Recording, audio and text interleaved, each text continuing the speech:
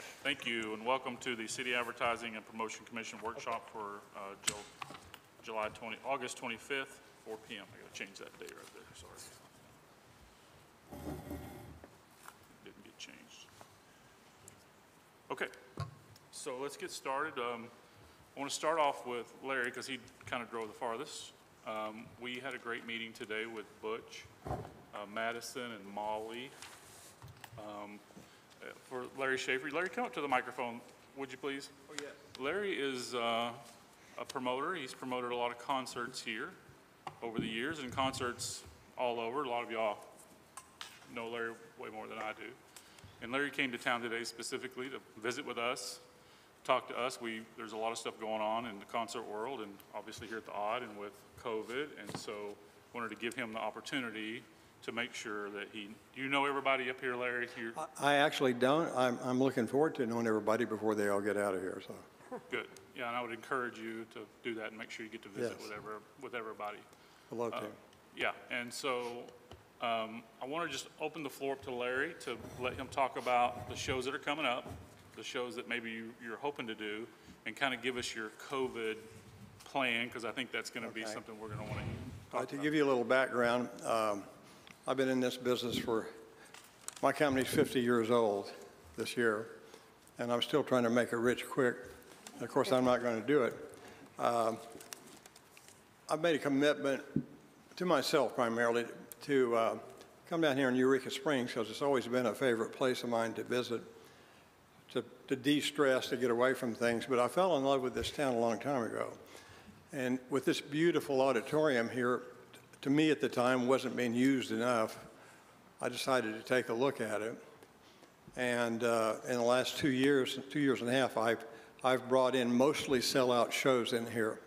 And by doing so, I've been, uh, I've been laying a lot of money out to the artists, trying to get the higher level artists in here, to get, to, to- to get people in here to see uh, the talent they would not normally see that caliber in a small town. So that's, that's what I've been dedicated to doing, and it's really working. And of course, the COVID situation has shut me down for a year and a half here as it's, as it's affected everybody in this building. But we're going to get through that, and my commitment to all of you in this town, I'm in this. I'm, I'm committed. And uh, I think I, I think I'm, I think I can make this better and better as time goes by. It's my intent to bring larger acts in here consistently. Now, what that equates to, I have to, I'm the guy that has to pay them that evening. They're working for me that day. I pay the rent on this building, I pay the stagehands, the catering, the security, rent. That's, that's the risk that I'm in anytime I come in here. So uh, I have to know a lot about the demographics we're selling tickets to, and I know pretty well what we're trying to, uh, to focus on. It's been working. Uh, It's been working from uh, Old Crow Medicine Show, Lyle Lovett, Steve Earle, Pure, uh, Nitty Gritty Dirt Band. We've done well here. And uh, what that's done is to give me a confidence level that I can do better. Um, So my intent, and I'm repeating myself, I want to get the most prominent shows in here that have a broad appeal. And when I come in with the show, it's my intent to sell every seat. I have to. And of course, if, if I pay an artist a handsome uh, guarantee, it will have to equate to ticket sale prices. There's no way other, no other way than I can, than I can do it. So a seat here that might sell in the back row of a big arena for $85, I might be having to sell them here for 125 just to cash flow the thing. So that kind of gives you an idea how ticket prices are formed. It's nothing about greed whatsoever. It's just cash flowing the event. Uh, I have full confidence with the help of you guys and the great staff. I can't say enough good about the, uh, the people that have helped me in here, Rick and the team and, and Ron have made it real easy and uh, pretty uh, stress-free to come down here and do shows. So that's how I kind of got my foot in the water, and I'm here to stay as long as I can.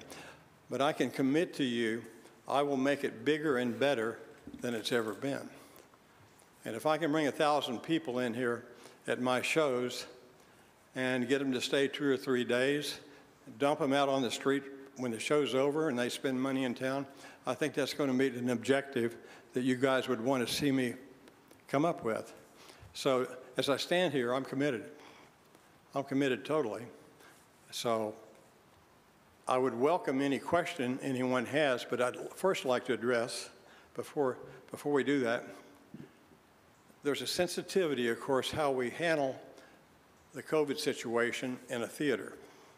And Jeff and I talked this morning uh, with Butch and uh, the venue uh, staff here about devising a way to make it as safe and comfortable as we can to get crowds in here.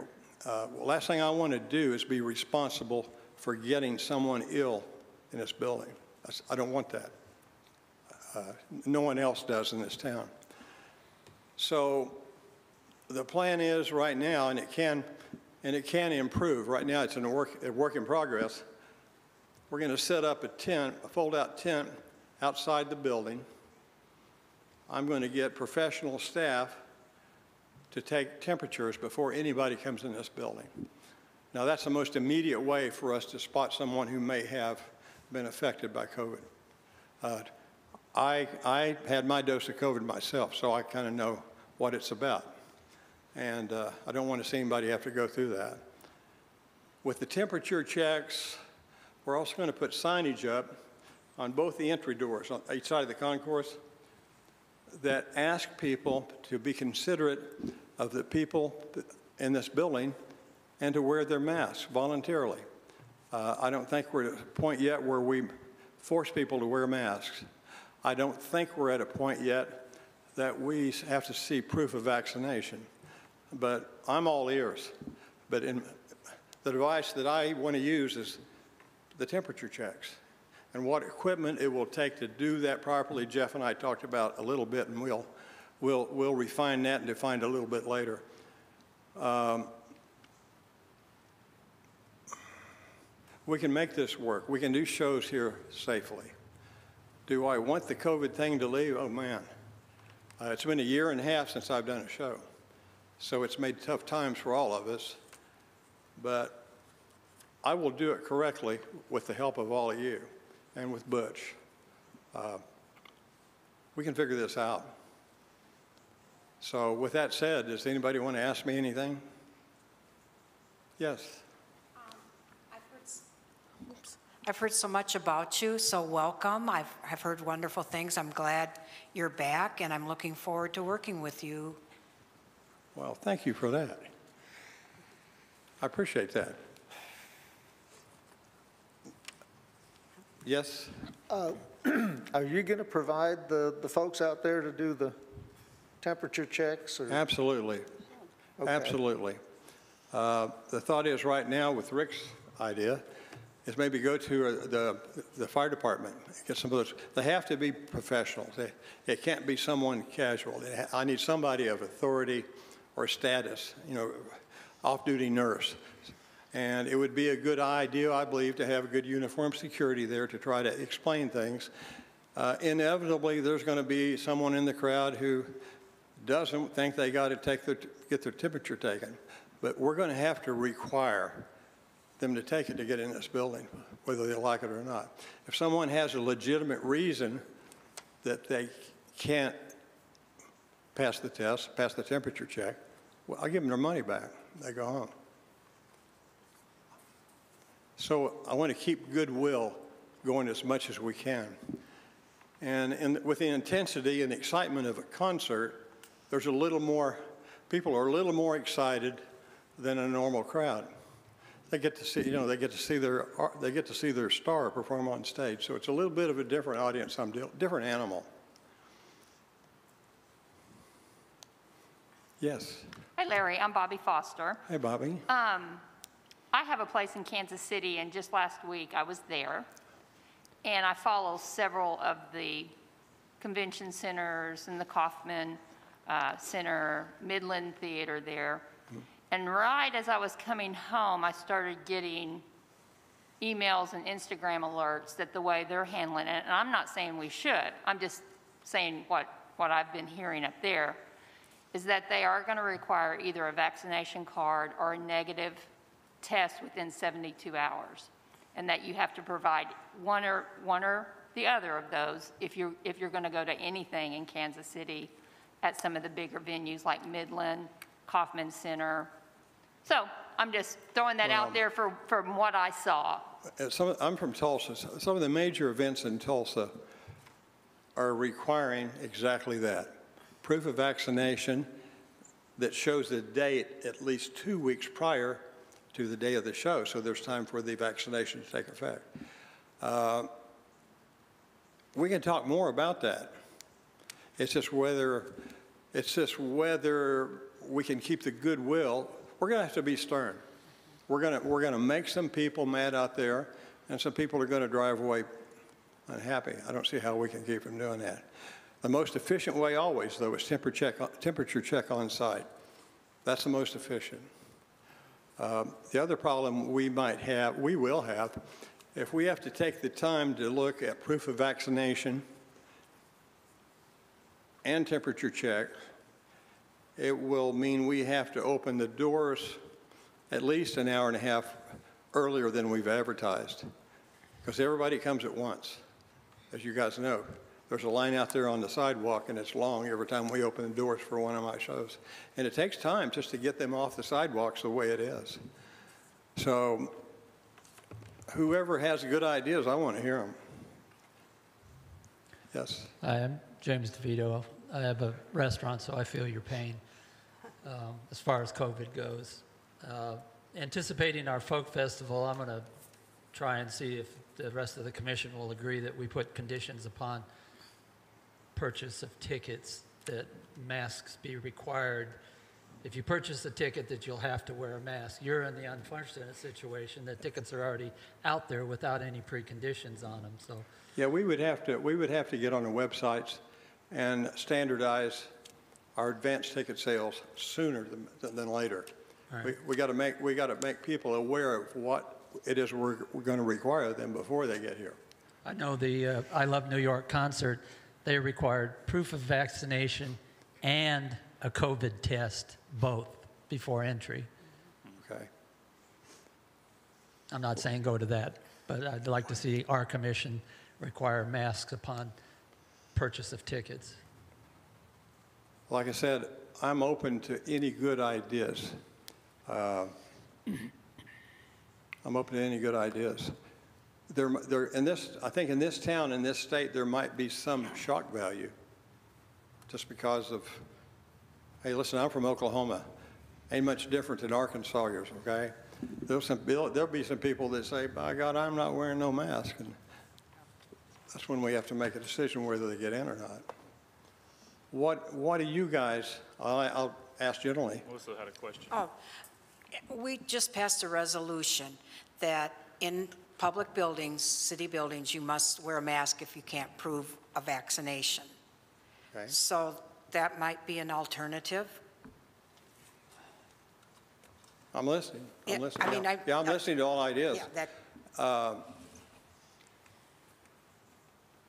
You know we're going to meet resistance. yes. Are we all going to be okay with that resistance? Ah. Because this is, is this, is this, Uh, are masks mandated in this state or not? No. They're not, see? No. That's where the problem lies. Right. That's where the problem lies. Jeff, what do you think about any of this? You know, it's a, this is a tough area, right? Because we absolutely want to keep people as safe as possible. Or, Yes. my question is, if we decide as a whole that we want masks at the shows, or would you help us to enforce that? If, if they, if we decide as a whole, as a commission, to require masks, will you, you'll work with us? Oh, I'll have to. Okay, well, coop, just cooperation wise, and look, we had a great conversation today uh, with Butch and, and uh, we we really, it was fun. We got to talk about kind of some of the old stories, Yeah.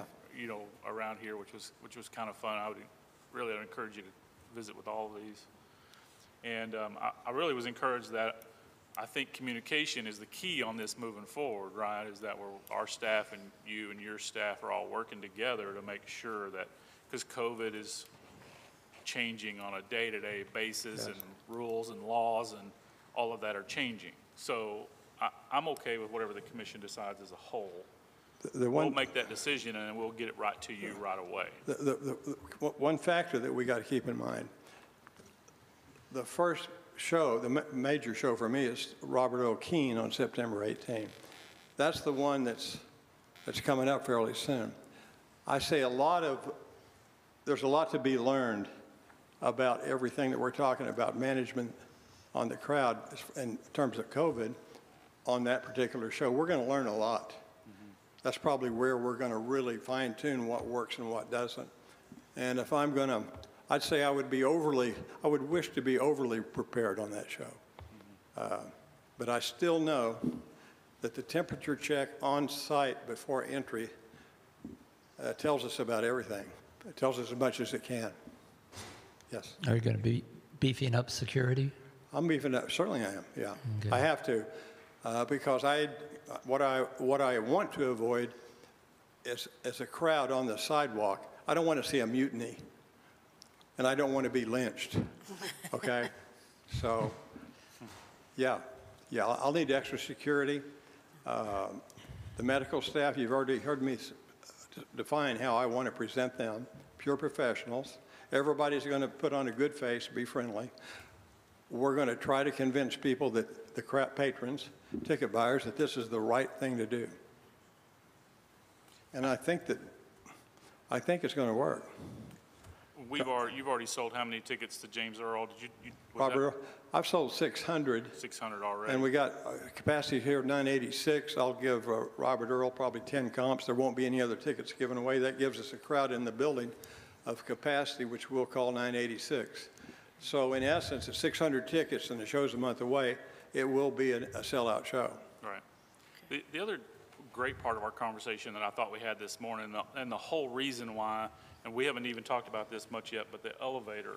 The elevator is really crucial because it gives us the ability to have more space, usable space for the auditorium, so that when you have a show, we don't necessarily increase our occupancy, but when we got 10 or 15 percent of people that are normally standing up here, they're in the basement getting refreshments, Yeah. uh, watching the show from down there, hanging out with their friends, and it makes this feel m- more, it, it gives us a little bit more space, right? Well, it's, it'd be a pressure relief. I It's a, mean, it's a, definitely, Yeah, and so. it- pressure it- relief. It also eliminates our crowds in the, in the lobby because they're going downstairs to get those refreshments. So I know it doesn't help us for this season, but moving forward, the elevator could really be a big bonus for us to keep that from happening. Yeah, we from can Keeping make- the crowds too tight. yeah, we can make that work. Yeah, I We think can make that work. I think we Well, can make that work. Sure we can.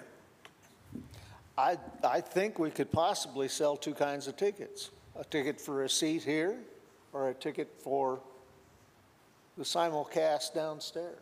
That's possible. Of course, to do that, I have to be, I have to very much uh, devise a way to present that to the artists. Artists are paid guaranteed versus or plus a percentage based upon every seat sold. So what I would have to do is build that into my deal as kind of a spillover situation. Those seats downstairs would have to be general admission.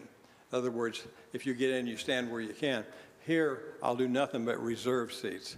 Now, with the quality of shows that I got, got in mind bringing here, I think there's going to be a smaller percentage of people that want to give up this seat for Willie Nelson or Dwight Yoakam.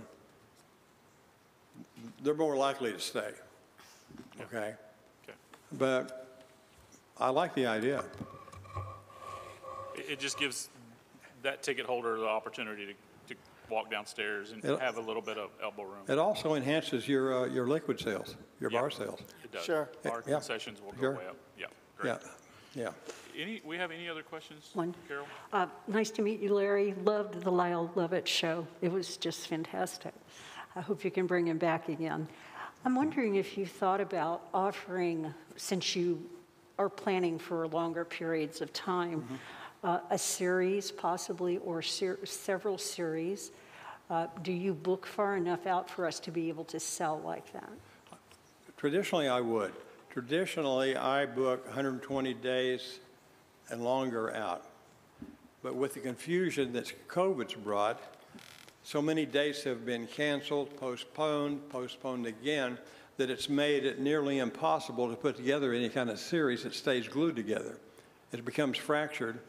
And uh, short, short answer to that, it's possible to do that. So- So far, so far, I've just, uh, I've been on, my, my philosophy has been one good show after the other. You know, it's pretty simple, boilerplate, but I would consider a series. uh, Post, might- post-COVID. Yes, yeah. Yeah, we're going to get through COVID. Uh, I don't know, I don't know that it's ever going to go completely a- away. I think what we, uh, the, the method we designed to manage the COVID situation as it relates to this theater is going to be something that we probably have to learn and may have to, have to use elements uh, of it for years. I hope that's not true, but, you know, I, when I booked this fall, when I booked the shows for this fall, uh, Robert Earl Keen, the next up for me, Marshall Tucker with the Outlaws, October 29. I brought in a comedian for Diversity Weekend with uh, whatever name, Feimster, okay? Fortune Feimster. That show's already sold out. I've, I've put my neck out on the line to try to help get something for Right. Nancy's uh, Folk Festival for, no- I believe it's November 17. I have offers in to probably, I've got offers out right now into Willie Nelson. And by the way, I'm not supposed to divulge this, so I'll take a chance. Don't get on Facebook with this, please. I've offered a good sum of money to Willie. I've made a good offer to Dwight Yoakam. Lyle Lovett is confirmed next year, March 23. We got that one in the bag. And as I, as I stand here with you, I have no doubt whatsoever there's going to be a time when I'm able to pick and choose the cream of the crop. What's that do? That gets us the cream of the crop in here for the city. It's a pretty big deal. This is no small deal to me. This is a big deal. Yes. Yeah, I'd be, I- it'd be wonderful if we could revive the Blues Festival and have Yep. two or three acts a weekend or over a few days. Mm-hmm. I'm all ears. Yeah. Yeah, I bet that, you know, the complexity of a festival, ask Nancy. Mm-hmm. It's not Yeah. my art. My art is uh, relationships with the major artists, mm-hmm. getting the deal cut, having them do an enjoyable show for the patrons. Hopefully I make a profit and that, and on to the next show, the next show. Uh, I did, I was the guy that did the Oklahoma Blues, produced it with my money. The Tulsa Blues Festival, the Oklahoma Blues Festival in Tulsa. I owned Cain's Ballroom for 25 years. And that real estate around Cain's wasn't so, it wasn't gentrified yet. So I had access to all these empty fields and empty buildings. And my blues festival worked. I did it two days, though. I did Saturday and Sunday. I would have been ahead doing Friday and Saturday as I look back now. But I did, I did large numbers. But the farmers started relying on me to make it rain. Every time I do a blues festival, it'd rain like hell, okay? So as I got older, I got, my nerves got shattered, so, yeah, blues festival, but we may get somebody else to do it for us, okay? Okay. Let's just be advisors on that oh, one. I got Nancy right there. so. Yeah, Nancy, Yeah. I'll roll that one over, I'll defer that to Nancy. Hey, But- thank you, Larry. Does anybody else have anything else? I don't want to cut him short, but we do have a lot today. Okay, well, my heart's in this, that's all I want you to know. Yeah, well, we appreciate you very much, and thank you for coming. and All right, Thank you so much. Have a good time. Okay. Paradise update is next. I've asked them to do this in the workshop because there's quite a bit of stuff. And of course, Madison is here and got her feet wet. And um, I'm going to turn it over to her and let her run this little boat. Well, we had Paradise coming on the Zoom, but it's not working. So um, they're going to be on standby. If we have any questions, I can go ahead and give Rudy a call. Um, So if you guys have any further questions after what I go over, any input that you'd like to give them, we can give them a call. Um, You guys should all have the monthly report printout. Um, I'm just going to kind of quickly breeze breeze through that. I have some talking points typed out here excuse me. Um, This will be a report that we receive on a monthly basis. This is my first one. Um, let's see here. So essentially, page two gives a quick summary of activities by Paradise for the month of July. Um, They provide this report around the middle of the following month. So we got this just last week, I believe. On page three, basically page three through 11 goes through social media. I have a couple of highlights here I'd like to give you guys. And it looks like we have around 23,000 followers on Instagram, which is great. Um, Our total reach for July was almost 185,000 people. That's an increase of 14%. Um, That's also great. Going to page five, you'll see Facebook details. In July, our Facebook efforts reached over 600,000 people. I'm going to skip page six. It just goes into detail on Facebook video performance. If you have questions about that, again, we can talk to Paradise. Seven talks about top, page seven talks about top performing posts. Page eight talks about our Twitter handle. Nine and 10 goes over some of our posts on each channel and gives an overview of each of their performances. Then page 11 digs into details on the website. In July, we had about 95,000 sessions. Visitors went, went to over three pages and were on site for about two minutes and 40 seconds. Those are really great metrics. So on page 13, we start talking about PR. This information comes from a third-party reporting tool called Meltwater, and it shows that estimated impressions at 311,500, oh, I'm sorry, yeah, 500 311,562,074 for an estimated media value of around 2.8 million. Two, yep. And then page 14 goes over the STAR report. This kind of really highlights our hotel data. The last page visualizes our tax collection, collections to date. Um, I can provide this via email if anyone would like this as well.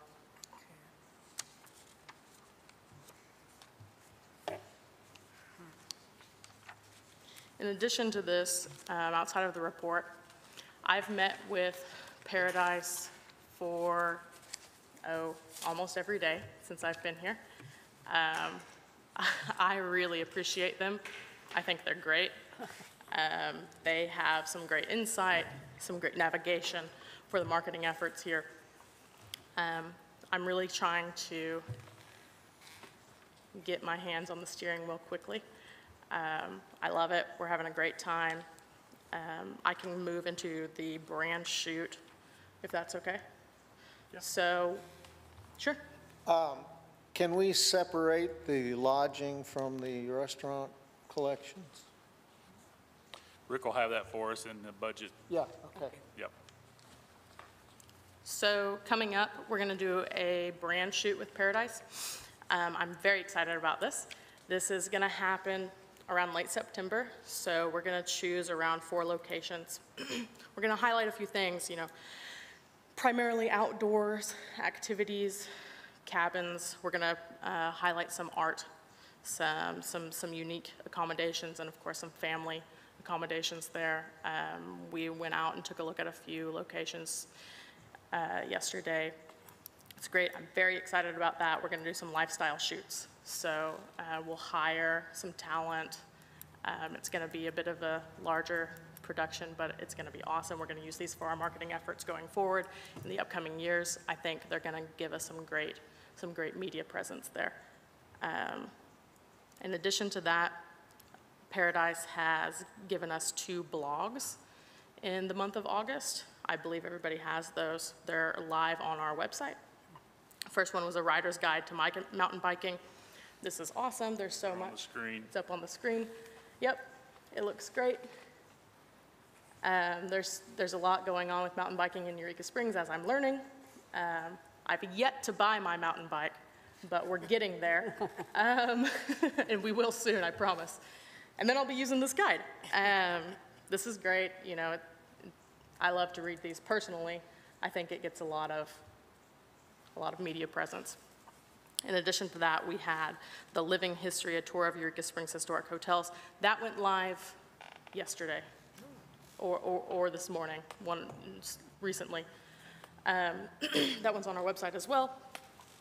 It goes over, like it says, a tour of the Eureka Springs Historic Hotels. Um, Beautiful pictures here. It's a great blog. So we essentially do about two of these uh, a month. Hey y'all, this is We've Bo. got some, we've got some coming up in September that you guys will enjoy as well. Yeah, beautiful photos. And that brings us to our radio spot that Paradise put together for us. Uh, I believe we have that to play for you guys. This will, this goes out or will go out to the Fort Smith area. So that reaches, I think it reaches as far as Tulsa. Yes. Uh, We've got Hey y'all, this is Bo with a question for you. Why do we humans think we have to save the fun stuff for the weekends? Well, I'm here to tell you that you don't. That some of the best fun that you can have happens between Monday and Friday, and the best place to have that fun is in Eureka Springs. Now, I know what you're thinking. Bo, buddy, some of us have to work. Well, I'm here to give you permission to play hooky and treat yourself to everything Eureka Springs has to offer. I'm talking endless outdoor adventures like hiking, biking, camping, fishing, boating, all in some of the most beautiful surroundings the Ozarks have to offer. Then there's downtown Eureka Springs itself, with all its unique shops, restaurants, and galleries, not to mention some of the coolest buildings you'll ever see. I'm telling you, Eureka Springs is like no other place in Arkansas, which means there's no better place to play a little midweek cookie. Folks who live there like to say it's artsy, quirky, a little curious even. And as someone who loves going there, I'll just say it's curious indeed. Plan your midweek getaway today at eurekasprings.org. That's eurekasprings.org. So that's our 60-second version. We also have a 30-second version. Um, And I love it. I think it sounds great. Um, Then I have some things that Molly, she, Molly couldn't be here. She is actually, I think, on a plane right now to Colorado, which we're all jealous of her. Um, Let's see here. She's given me, do you all have a newsletter in your packet? There's a newsletter here, it looks like this, it's this That's it. cover here. So uh, Molly put this together. Um, She's great. She did a wonderful job. This one, I think it has an introduction to myself, um, some other things. This is the first one that there's been in a while. We're going to try and do this bi-monthly. Um, Essentially, this will update the community members about the events in Eureka Springs. So we're excited about that. We'll try and get that together twice a month. Oh, she did a great job. Yeah, isn't it beautiful? Oh, it's darling. It's so cute. I know. Oh, I haven't found it yet. Have you not found it? You can have this one, It's on your agenda, in the agenda packet, that's that, Oh. you know, make- that- near the back. okay, you find it? No, you can have this one here. I've seen it. Great. I just wanted to yeah. Find one. follow up a little bit with the brand shoot, you know, the, and then you guys can look at this, but, you know, they're coming up with concepts, and they're kicking those over to Madison, but this is one of the concepts that I really like, and I know All it's the way in the back. difficult to, s- to see here, but the concept here is that we have somebody on the street buying art, and they're carrying the art back to their car, they're trying to stuff it in their convertible or something like that, and, and this is kind of some of the concepts uh, that they're coming up with, and you guys are welcome, if you want to see any of this, we have it. Okay. But Yeah. you can, you can flip here back Got and it. forth, and you can see some of the concepts. Uh, These That are was what lifestyle shoots, so we do need actors, and we, uh, we do need um, wardrobe and some of that kind of stuff. Make Just one question. Um, You mentioned the end of September, and then- which is normally Bikes, Blues, and Barbecue time. So almost anywhere you go, you're going to have motorcycles in the background, which is good for some of the stuff, but maybe not for every picture. So Okay. Just to keep uh, it in mind. Yeah, I'll definitely do that. I think we're going to try and do it during the week. Yeah, uh, yeah, these will be early morning shoots before the bikers get out of bed. Okay. We'll, And- we'll be out there. And s- we'll be employing some locals with this, or some of our local talent a little bit? We, that's something that we need Madison, but Okay, they are good. bringing, they are bringing photographers and some equipment, and then we're waiting on a list of photographers' equipment list that they're gonna provide to us that we'll source locally. Okay, And we don't have that list, fantastic. we don't have that list yet. Oh, Yeah. fantastic. Anyway, James, if you wanted to see any of this, this is some of the concepts, shopping in front of the Flatiron kind of stuff. I don't know if y'all- if they want to see it, I can show it to them. I just wanna- Okay, go ahead. In addition to that, um, Molly also has given me an events update. So Summer Music Series, I believe you all have this uh, handout as well. Um, She says we're halfway through the lineup. We have a show this weekend. Um, It starts on, it's on Saturday, it starts at five, and we have four remaining weekends for that. It ends on September 17th. Um, I have a question. Sure. Uh, Maybe I'm I'm wrong, but I thought uh, the mayor had uh, nixed any uh, activities in the park. Just drumming, Just drumming. Just drumming? just drumming. So what's the difference between a concert and drumming? Well, they're- they packed pretty tight for the drumming. He, he is allowing the, con- the the concerts to go on. Drumming's pretty much, you're standing right next to each other. Shoulder to so- shoulder. Yeah, I mean, if you draw a crowd, they're going to be shoulder to shoulder for concert, yeah.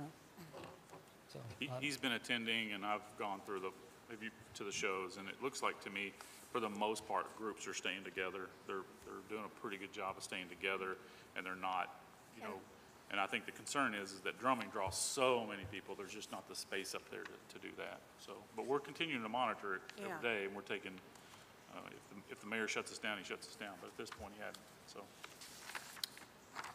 Yeah, drumming in the park was my next point. Um, It's, it's been canceled. It's been canceled. And then we have Folk Festival, I believe uh, Nancy's going to talk about that in a bit. Um, We That's, can, we can just go right into it. It'll Sure. move our agenda around a little bit, but this is a workshop, so if we want to just go right into Folk Festival, sure. plus we still have Larry here too, that would be good. And- And there was a budget here. She did give us an updated budget somewhere. I saw it. Yeah, I I gave you a sheet with, with what I have budgeted so far out of what you've given me. Um, First, I want to go to the COVID stuff for Folk Festival, and I'm with Larry. I would like to have temperatures and masks. Um, I can get some retired RNs. I'm thinking an easy up outside the door. And also, um, when I went to Woody Fest, one thing they did ahead of time was they checked vaccination cards all during the day and gave people armbands. And if we wanted to set up an all-day tent where you could check your card and get your armband, that's always a good thing, but you still have to check, check their temperature and require a mask, And so. that would be a voluntary, you're saying that's a voluntary thing? People could come up and volunteer? Volunteer to show So their everybody card and knows. get a wristband and say, well, I'm vaccinated, but you'd still need your temperature checked and a mask. Right. but I that's actually just- really like that idea. It's, it's a nice thing, and it was really handy at Woody Fest, and um, at their theater, they'd only had quarter occupancy because it was in July, and even with quarter occupancy, an armband and people wearing masks, somebody sneezed behind me. And it was the most awful experience I'd had in about 15 months, and it was like, oh my God. I- I- So I'm just saying, all these, all these things we do, there's always a, a fail, so. But um, I've got most, the music is all lined up. We have all of our ticket sales online. I'm more than happy to have um, mask required and temperatures taken on the door added to all of the ticket sales on the, on there, just so people won't be surprised when they come. If, if that's agreeable with everyone, I don't, uh, if we're going to do it, we might as well put it on the, the sales. We haven't sold that many tickets because we've just got them online. Um, Bear Morrison, who's doing the Thursday night Todd Snider show, has sold tickets, but I'm sure he'd be agreeable to that, that requirement too. Um, uh, what else? Uh, I'm, I'm way within budget.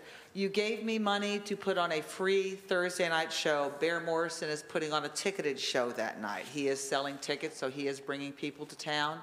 With Jeff's permission, I used that money to um, book a show on Friday night that we're going to use as a benefit for the Flint Street Food Bank and other food banks in the area. Um, So we're going to do canned food donations, fill the bin at the door, and take cash donations for the food banks. I also have a Saturday night show at Main Stage. We're setting up a stage down there. Um, Larry said it was okay that we had a small show opposite Gangstagrass. It's going to be still on the hill, which is out of Fayetteville. We're going to use that as a benefit for the Historical Museum.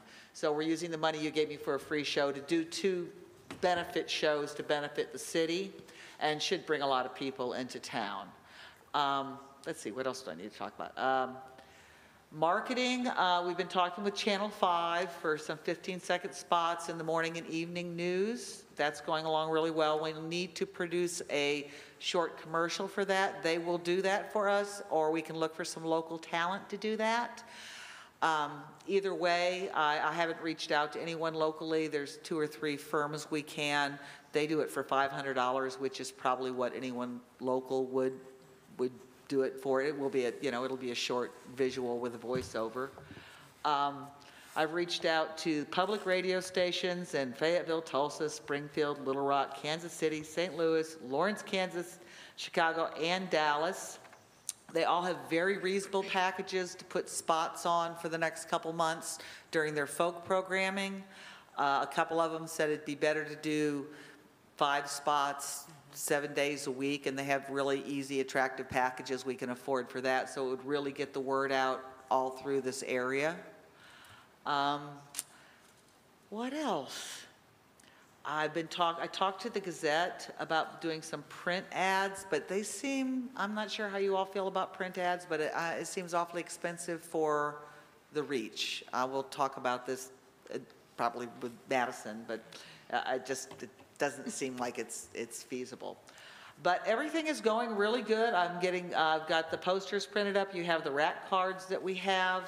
The poster, Uh, we have the poster here. Oh, I, I, did you give you a poster? There you go. There's- There's some here, yeah, there's, there's the poster for the it. poster. Uh, The face, our Facebook is, is live. Um, We've got it on the uh, eurekasprings.org website. They need to update our copy and picture, but they should be doing that this week. Um, And we got an Instagram account set up. And uh, we're getting really good feedback to everyone we talk to. So I think, I think everything's going on just really well. And now that COVID is stabilizing, hopefully it'll start dropping, and by November, we'll have it under control. Um, But I think we have a really, really nice lineup, and that I'm getting really good feedback from everyone. So uh, on these public radio shows, I've got um, a lot of them, like KSMU, Mike Smith's going to talk about it on his show. Uh, I can get Mike Shirkey to do that over in Fayetteville and Scott Aycock to do it in Tulsa. So we're going to get a lot of personal talking up of the show over the next couple months, once we purchase our ads on the, on the radio station. So, does anybody have any questions? My, my concern is we are where we are today as far as COVID Yes, because of Memorial Weekend. Right. We have Labor Day weekend coming up, which is going to put us back in the mix for another spike. I, I agree with you. I think you're right. And we have a COVID rider that we can cancel mid-October if, if it looks like the numbers are going ba- up and this is not going to work out. So all of our, con- all of our artists have a COVID rider that if, if it's, if it looks like the city's going to shut down, we can shut down the festival. We can still do the, we could still do the outside music and social, you know, in the park, you can social distance. You can set up chairs, you can get far enough away from each other, but that doesn't bring in a lot of people, but still, you can do things outside. There's less transmissibility outside than there is in a closed building. But we're just, I think it's just a wait and see. We can, you know, I, I'm with you. I'm, I'm more, I'm the most COVID cautious person you've ever run into in your life this last year. So I, I, I agree. We don't know if it's going to spike again. But the vaccination rates are going up and, uh, we'll see what happens. I'm, I'm very hopeful that people will get vaccinated and we can get this to where it's a annoyance and not a destructive force, you know? Um, Any, any other? I don't think that the newspaper ad is worth it. I don't think, it's $2,000 for a quarter-page No. ad. That's really No. expensive. That's- No, I- you know, it's going to be on their website and their online thing, but no. That's I'm, well, I was talking to Larry right before, and really KUAF reaches a huge area It here. does. As does KSMU, and, um, oh, what is, uh, K- K- KSMO over in, uh, in uh, Oklahoma. They, they have a good reach, and they're the audience for folk.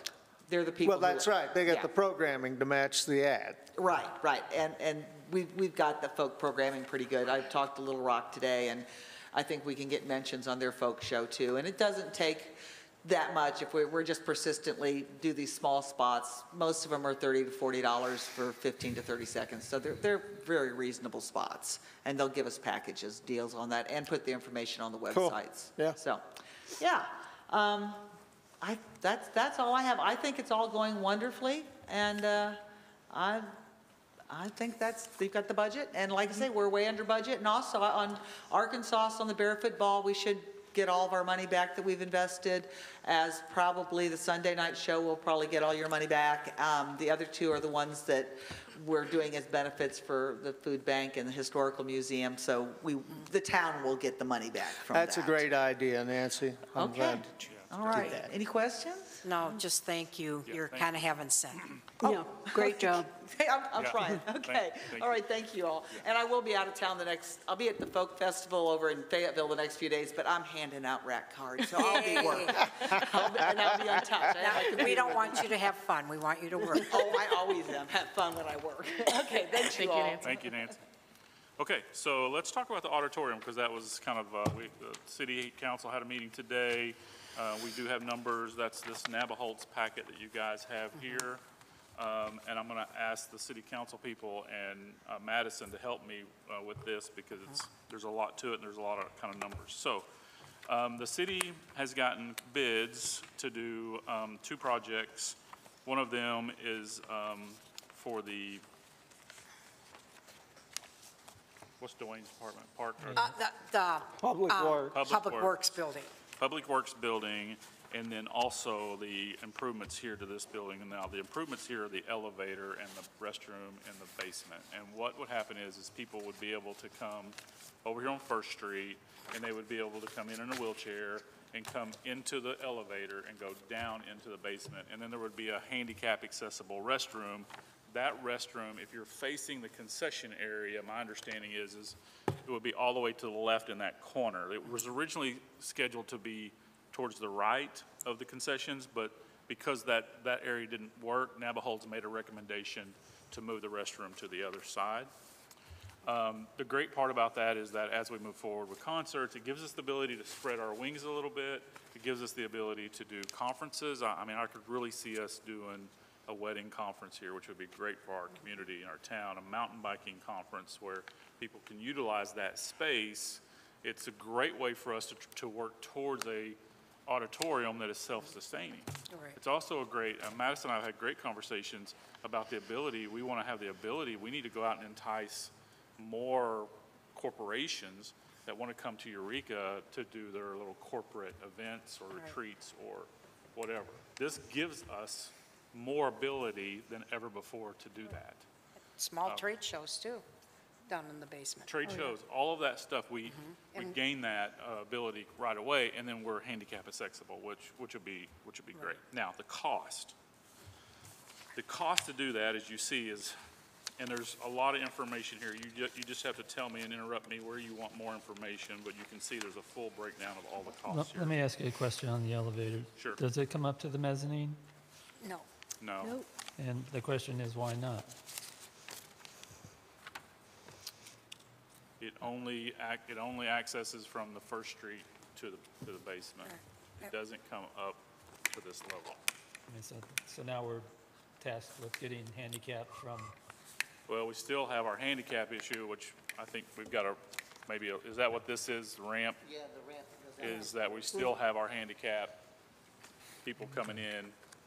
To I'm waiting on a bid for the, to replace that To- junk at the door.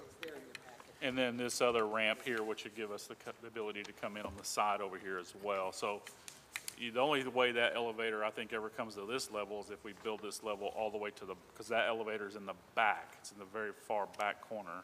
Mm-hmm. Um, I, I, I believe Butch, a couple years ago, when we were discussing doing this, that was, he got, I don't know, bids or whatever, but it, it was the cost, and it was almost unfeasible to do, to, we'd have to almost do two of them. So this is just an old building, and they were not handicap accessible back then, unfortunately. So the cost to do this is three hundred and sixty-three thousand dollars, some change there. Um, Nabholz, if, if both of these projects are done at the same time, and they will be, because the city has already approved them, well, we will get a, a discount of sixty-nine thousand, basically around seventy thousand dollars on our project, and they get a discount on their project of seventy-four thousand. So there's a, there's a substantial savings, and the city council's already approved these two projects. What Butch has asked us to do is to fund seventy-five percent of this 293,000 for the elevator. Do we have a few years to pay it off? We do. Okay. So we don't have, because obviously we can't do that with No. one check. We- That would, but I asked Lonnie and had a great conversation with Lonnie, and I said, can we pay this out? And he agreed to five years, is that? Okay. Yeah. Yep. They'll draw up a contract between us and them, and we'll pay this out over five years. And that was roughly, Madison, you have those numbers. Um, A five-year plan is $44,084.25 a year. So that's what our portion would be. Right. Well, I have a question for both Bobby and James, because you long timers. Wasn't the basement really utilized for a long time? No, Okay. Because, it's would- hardly ever, it's hardly ever been no, utilized. 20 years before. What, 20 years, so in 2000? Yeah, before that, was it utilized? Not to my Butch, knowledge. Butch said it was. Bobby? The only thing I really remember as a young girl growing up here was, I took ballet lessons in there. Mm-hmm. And there was roller skating, I know. I don't remember roller skating. I Oh. remember my mother played basketball down there. That was Yep. the gym. Yep, But I don't, I've owned Mud Street now for 20 years. okay. And to my knowledge, nothing has gone on the 20 years since I've been back home. Right. But I was gone for 20 years. Right, And so what happened during that 20 years, I don't know. right. Well, I've been here 35, and I can't Yeah. tell you anything of any consistency Okay. that occurred. Yeah, Oh, I was just saying, sorry to interrupt you, James. Yo. Well, they did the dinner theater with Janet Alexander down there. Okay. Years ago. We had dinner, dinner, uh, theater down there. We used it during some festivals.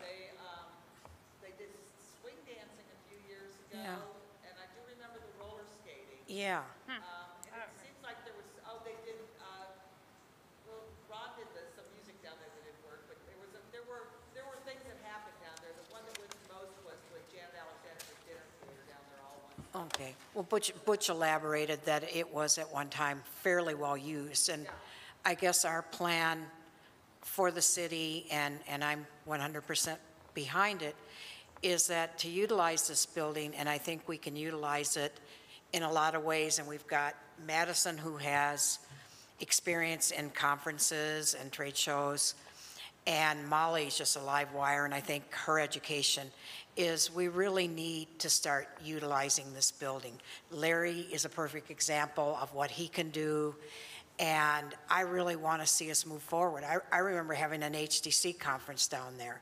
and getting it a little less dreary and ADA accessible. I, I just, I, I think it's time. I, I just think it's time we move forward and start doing different things and utilizing some of the jewels we have.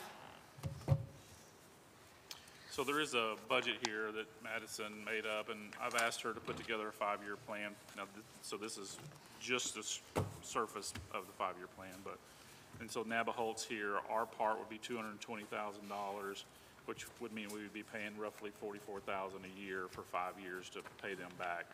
Um, But that, that is just the elevator and the restroom and a few renovations down there. We still would have to do an audio-visual renovation there where uh, people can go down there and there's a bigger screen and some sound system. And uh, we, we're estimating, now, we- these are not set numbers, but we've estimated that's twenty to thirty thousand dollars. Of course, there's other additional work that has to be done down there. You guys have been down there, there's quite a Right. bit of overall work around the auditorium. So there's, uh, the other thing that we have to do, which is not on this, and we don't have a quote or a bid for it yet, and that is our fly points. We talked about these several times over the last year, but we have to have fly points in here so that we can fly lighting and sound and those, so we, we have to have a beam engineered to put across the top, and Ron's been working on that. Ron, where, do we know where we're at on that? Is there any update at all on the, Um, Actually, yes, I just gave the plans to Nabholz. The uh, original contractor that we uh, gave the plans to has retired. okay, Nabholz has it in their hands, they're going to be communicating with Bill, and we'll set up a meeting next week to where I can take them up into the attic so they can see it, get a visual, and then you'll have a better idea of what they need to do. So Okay. that's where it stands right now. all right. Okay, any other, we, because this is our workshop, any other auditorium stuff that anybody wants to, because we're running out of time? Yep. Okay, we'll bring that back up in a, in a- um, We have an update for Festival of the Arts. Carol, you've been going to the Festival of the, to the Arts Meetings, yes. meetings? Sandy Sandy wasn't able to be here today. She's involved in a, a meeting uh, with the state uh, regarding the arts, and she asked, asked me just to pass this information along to you. Um, In looking at the year upcoming, the Arts Council's recommending a few uh, modifications to their original plan. Uh, This does have a lot to do with the resurgence of the, of the COVID Delta anyway, uh, they do want to stick with their original plan to emphasize more year-round arts programming and to also focus on public art, um, particularly our local artists. Um, So uh, to let you know, um, certain events that they had hoped to do were, were, were done to, to bring crowds. And so what they've decided to do now is put a hold on those particular applications possibly till next year. And then these are the things they're proposing to do now. Um, They want uh, the all-public uh, outdoor, small, safe outdoor activities and developing year-round arts program. Um, These four projects have been approved to- to go this fall, and the budget we've already approved will pay for them. Uh, We're going to upgrade and repair the music park. At the Rainbow Stairs mural, um, there will be a new mural that'll be by the New Delhi. It'll be another rainbow stair mural. At Harmon Park, there'll be an art, uh, art trail installations with local artists, and you have some pictures in the packets of some of those things that will be installed. And then um, they're working with the retailers in town on the Eureka Springs Enchanted Fairy Doors, which may end up running into the Christmas season as well. Um, The first three installations that I mentioned are planned with small, uh, small public reveals, um, an event that'll be safe for the outdoors, but can be advertised so as people come to town, they can enjoy these events. Um, They've also gotten a, a really incredible um, bid from Edward Robinson, and uh, we all know his incredible work here and the great work he did for the CAPC. One um, of the things he's talking about doing would be two web-based, interactive, augmented reality, virtual trail mapping projects.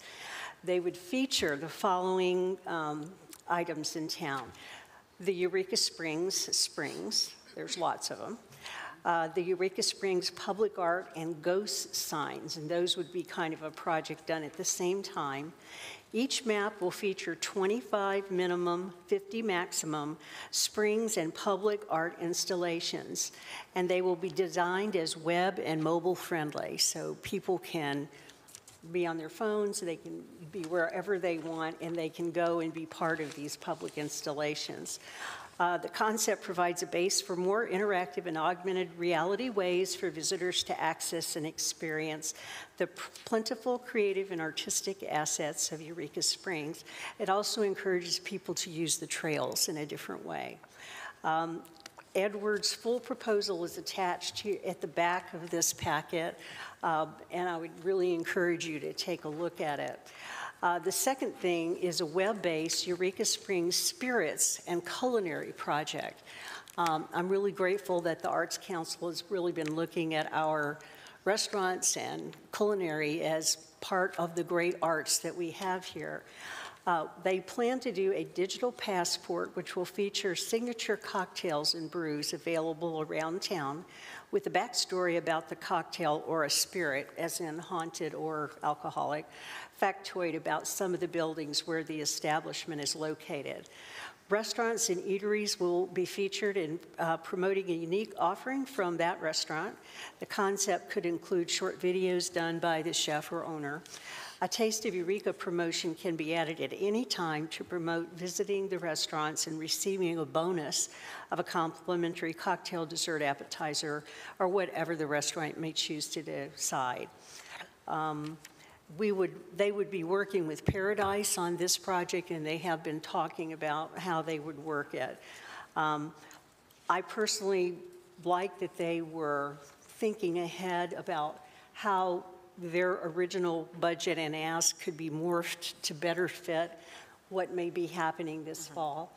Um, And I think it's kind of a really interesting template.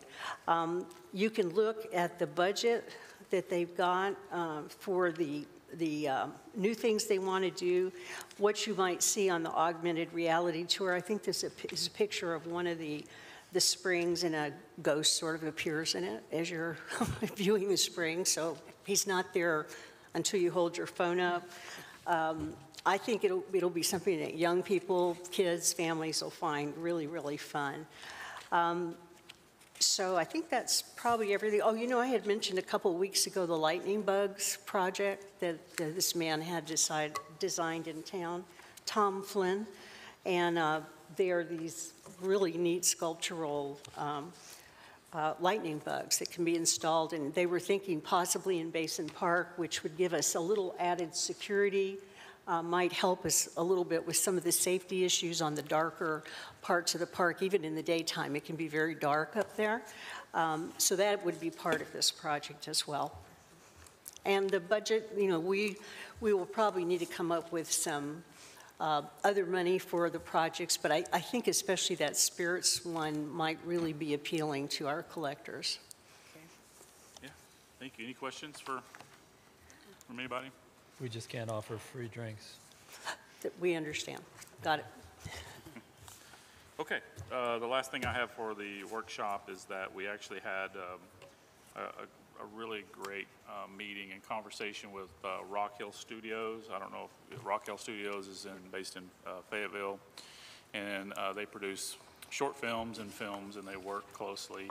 They were actually um, instrumental in helping um, HBO come to Fayetteville. They, they worked to see that production come, and um, anyway, so we have been talking to them um, on and off, I have been for the last year, saying, hey, Eureka is a place we should film. And now we actually have the potential of a uh, limited series coming to Eureka, where it's filmed here in Eureka. Um, This is, this is fantastic. So this is, it- it's not in stone. I don't want anybody to think this is done deal yet, but we, but it is, uh, we are working with the Film Commission um, out of Little Rock and the Film Commission out of Northwest Arkansas, Rock Hill Studios. We've had good meetings already with Butch uh, and Sandy to start this process, okay? Uh, My understanding is the overall budget's about $8 million, and about 2 million of that would be spent here in Eureka. So um, if that happens, it's going to happen really, really fast. Um, We could see that project actually start uh, people here working in November. So, and it would run, it would run into January. So that's a, keep that under your hat, but we'll, we'll see how that goes. Anything else for the workshop? If not, I'm going to give us, I know we're a little bit behind, but I'll give everybody a five-minute break to shuffle papers, and then we'll get started.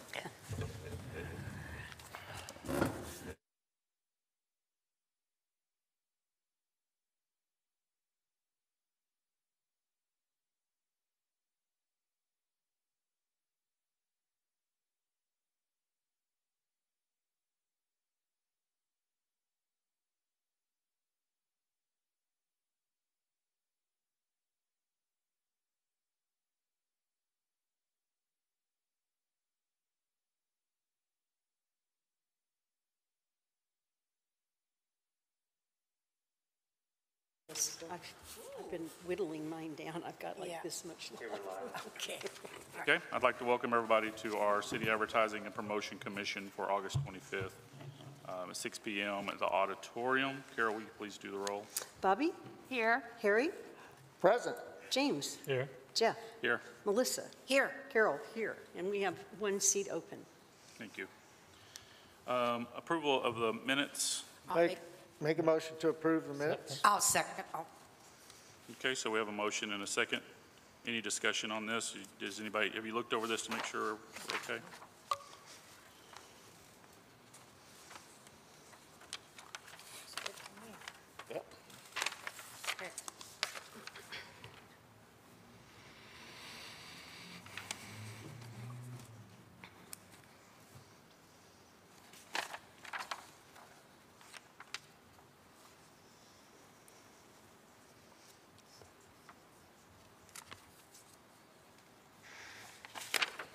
Okay, any, no discussion? All in favor? Aye. Any opposed? Okay, minutes are passed. Um, Rick? You want to give us, share us where we're at on our budget? Sure. The cash balance as of July 31st was $905,148.25. Historical comparison to last year, our COVID year, tax remitted in July, which are June collections. Food and beverage, we collected $93,822, which was up $38,071 or 68.3%. Lodging, we collected $114,407, which was up $46,527 or 68.5%. The total collections, $208,229, was up $84,598 or 68.4%. Year-to-date, total collections, $909,625, up um, $413,076 or 83.2%. Going back to 2019 to more uh, normal, stable numbers, food and beverage, $77,126, which was up $16,696 or 21.6%. Lodging, $76,389, up $38,018 or 49.7%. Total collections, $153,515, up $54,714 or 35.6%. The year-to-date collections uh, comparison is $729,192, up $180,433 or 24.7%. Um, Compared to our budget, um, comparing what we've brought in so far this year, food and beverage is up $18,822 or 25.1%. Lodging is up $39,407 or 52.5%. Total collections up $58,229 or 38.8%. And year-to-date total collections, $174,625 or 23.8%. So basically, we're- we're about a $175,000 above what we've budgeted so far for this year. Um, We had discussed maybe doing more advertising or something that's not really on the agenda tonight, I don't think, but um, Yeah. there is extra money there. Also, Bobby had asked about the food truck uh, industry. Um, This is numbers actually through June, because I'd actually done this calculation before I did my finance report. But through June, food trucks were 2% of our food sales, which was $75,000, or $7,500 in tax collected, Wow. um, which is basically $250,000 in gross sales. Great, thank you. So that is a pretty good uh, chunk of money that our food trucks are submitting in to us. Good for them. Have you done a projection of where, if, if we, if we continue to be up, let's just say 22 or 20%, have you done any projections of where we'll end for the year? Uh, No, because we've kind of, we kind of bumped up the end of the year a little more, um, because we figured we would start out softer, so I will do that. Um, I, I think, I'm pretty comfortable that we're going to be about where we're at now by the end of the year, uh, ahead of wha- what we budgeted, Yeah. um, which, you know, increases our budget from 1.5 million to 1.6. So, that- you know, it's a good jump. Um, Yeah. We've been busy this year, so. Okay, The lodging figures uh, are very impressive. I think it reflects what Paradise has been doing for us. And the city sales tax numbers are like 40-some percent above what they've been over the last 10 years. So it's, uh, it's amazing. It's been a good year. Yeah.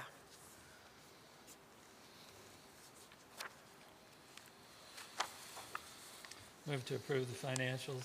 Second. any discussion? All in favor? Aye. Any opposed? Okay, uh, finances are approved. Um, I had Karen scheduled for group travel, and she sent me an email, said she was unavailable tonight. So that leaves us to public comments. We have public comments tonight? Can you keep a time for us, Harry? All right, hold on. Hello, I'm Buzz Satori from uh, Number Two Fairmount. Um, Just wanted to express a little concern over your big expenditures that you're voting on today. I do approve of building the elevator uh, I would like to know more about it. Uh, We've been talking about it for 20 years. Uh, I don't think that there's been adequate transparency with the community as to what you're proposing for such a big expenditure. Uh, We might need to spend more to do something better and I would like that considered. Uh, Also very concerned with the uh, Public Works building. I agree with that, it needs to be done, I'm all for it, but when they propose it on a Monday night, ram it through, and then have a special meeting on Wednesday at 3:30 to ram it through in order for your meeting here, then, then things are moving too fast. Again, the community is not able to keep up with the proposed million and a half dollar expenditures. Like I said, I agree with both projects. I'd like them to see them done, but I would like to see you keep more of a transparency with your constituency, which is we'd like to know what you're proposing rather than just wondering. Uh, And looking at the um, uh, 74th Annual Ozark Folk Festival, it looks fabulous. I'm great. Hope everything goes well with this. Uh, That means that next year is the 75th. I would like to see a lot more done for the auditorium. As I've said before, the auditorium is the number one responsibility of this commission. And there's lots of projects, as Ron can tell you, and anyone else with the community and with the, involved with the auditorium. So I would like to see you looking at much bigger expenditures for the auditorium, and let's have it at its best in time for our Fest, Folk Fest, 75th Annual Folk Festival next year. Um, Thank you. Thank you for your time. Does anybody have any agenda updates, or we want to? I thought there was, uh, Mr. Meyer proposed having the auditorium director on the agenda tonight. I just have it under auditorium here as a whole. Okay. Yeah, we, when we get to auditorium, we can go over uh, that, and there's some papers here, I think, for that. Anything else that, no? Okay. So, old business, I, uh, obviously, I asked Madison, she's been here, she's been here for a week. Um, We, she, I just, I'm giving her free reign here to visit with you guys, we can ask her questions, um, and she can kind of tell us what she's been doing, what she's up to, and what she needs. I think she was going to ask us for a laptop. Oh, Sure, so um, we already kind of touched on this. I've primarily been working with Paradise over the last week and a half. Um, I think they're great. Um, I've been trying to catch up quickly. Uh, We've been officing out of the auditorium. We love it down here. I love meeting the locals. It's great.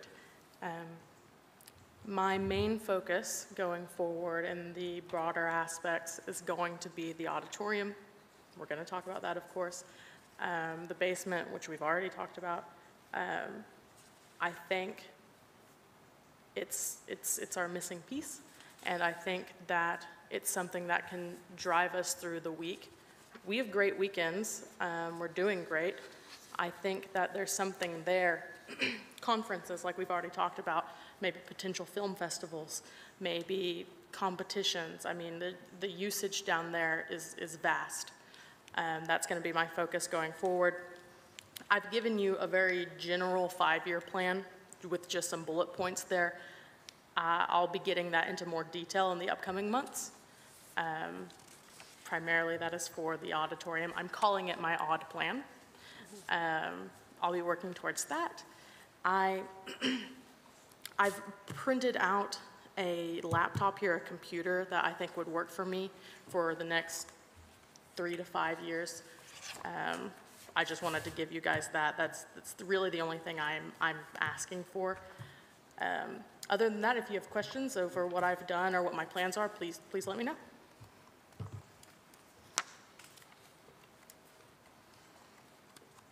Any questions?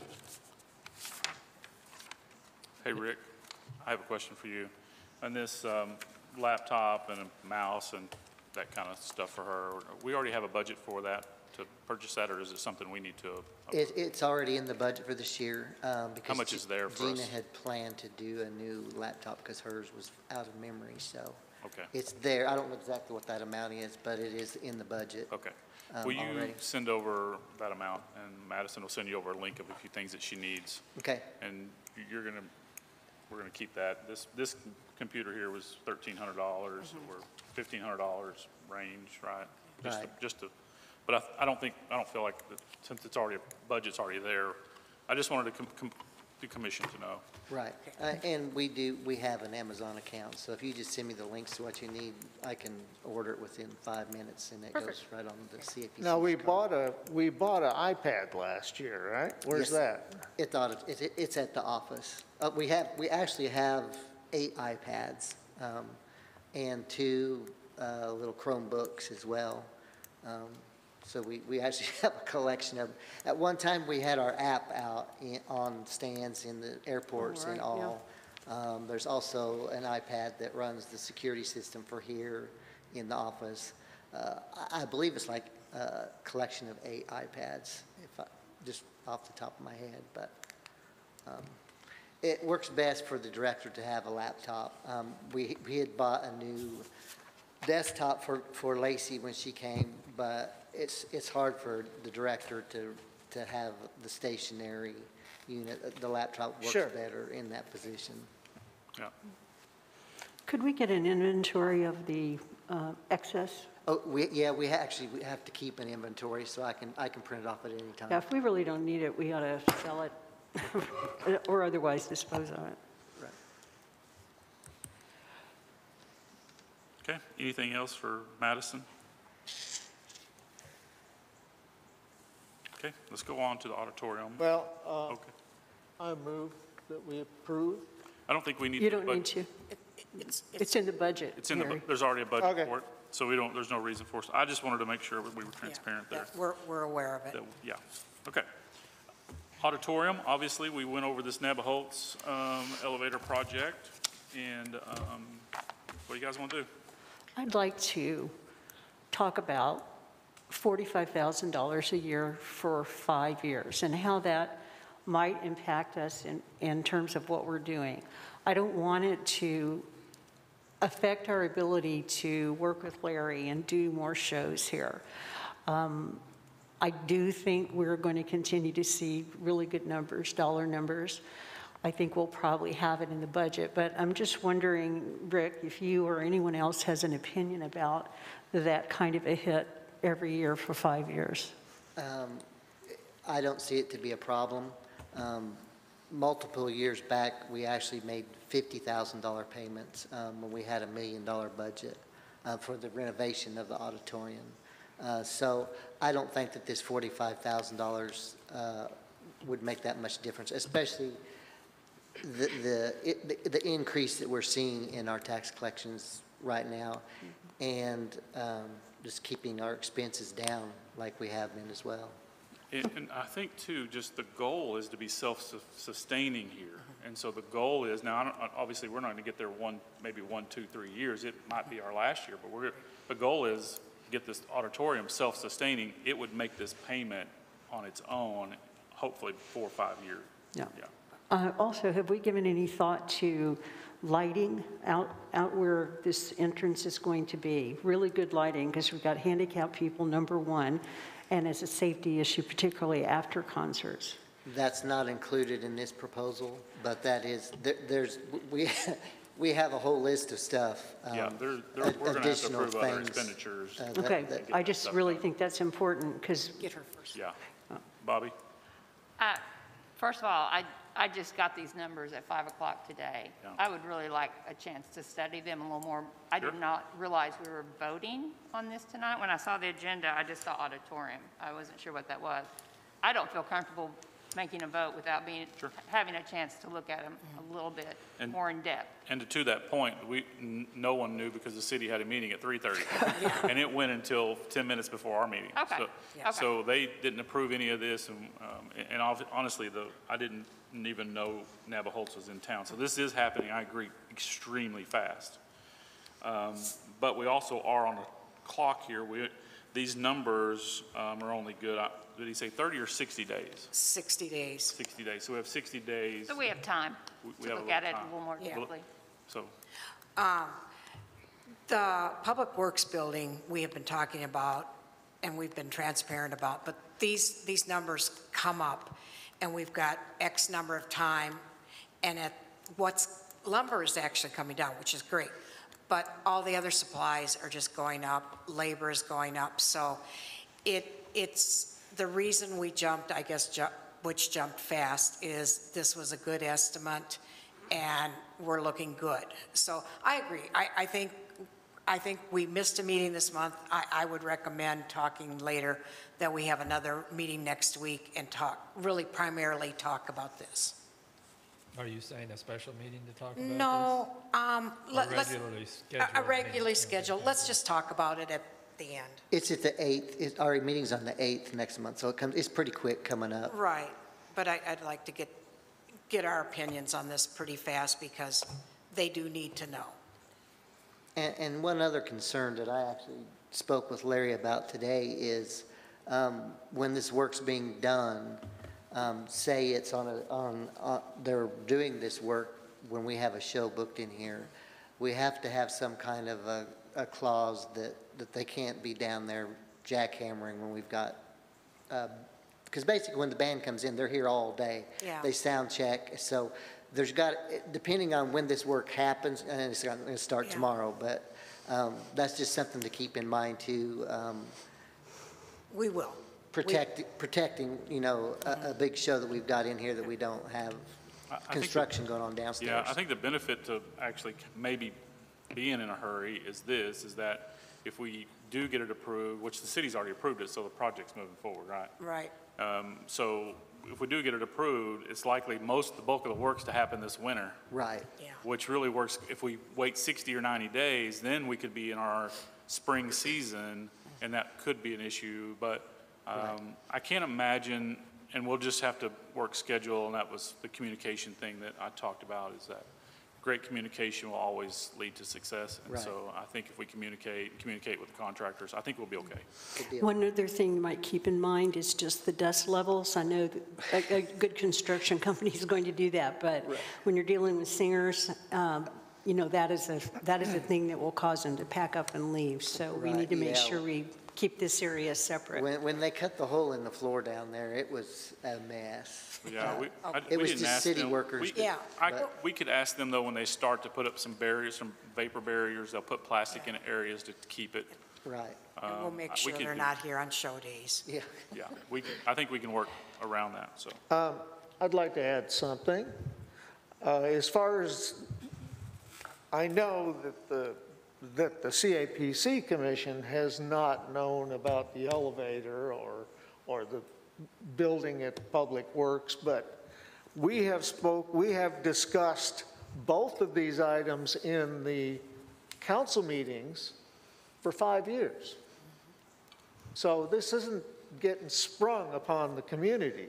Uh, We've had quotes that have come in in the past uh, for the, uh, for the building out there Public Works for, you know, 500 to 700,000 dollars, and then quotes for this elevator. We were going to have our council meetings down there, is what one of the plans was. So, uh, yeah, it's, I understand that, uh, that the members of the commission here want a little time. Well, I think what's new to us is just the the But- but- monetary proposal and how much we're being asked for. But- We've known about the project as well for three years at least, so.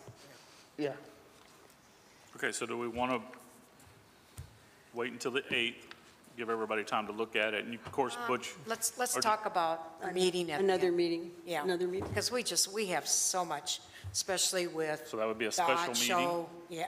Next Not, Wednesday. no, just, a- I think a regular meeting. The, the Aud, the first of Larry's shows, I mean, we have not talked about a staff. We need to talk about the concession staff and, They're, they're, the staff is working on that, so they're Okay. behind the scenes working on Okay. a lot of those Okay. things.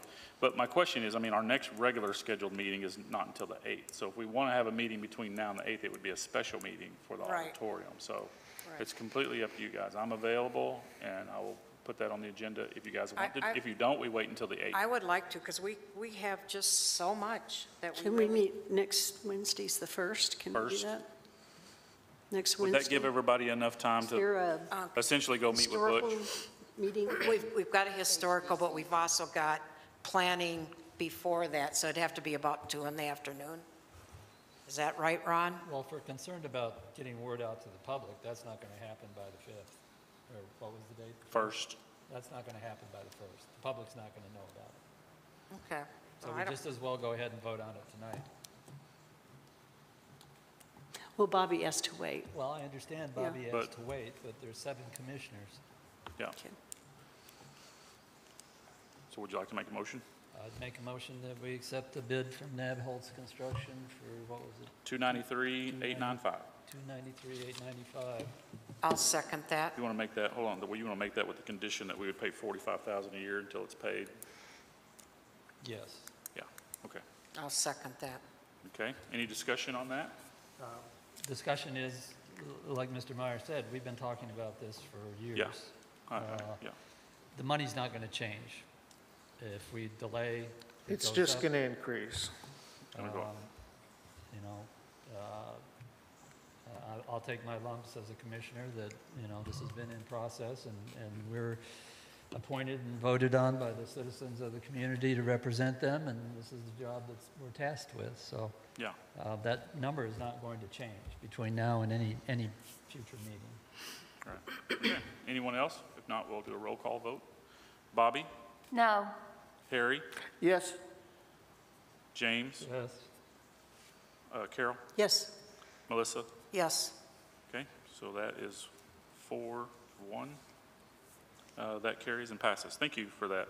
Uh, Other auditorium business do we have? I know that they have been working on, and Madison, I know you had a list of uh, like needs as far as people and staffing and, um, and Harry wanted to talk about auditorium manager.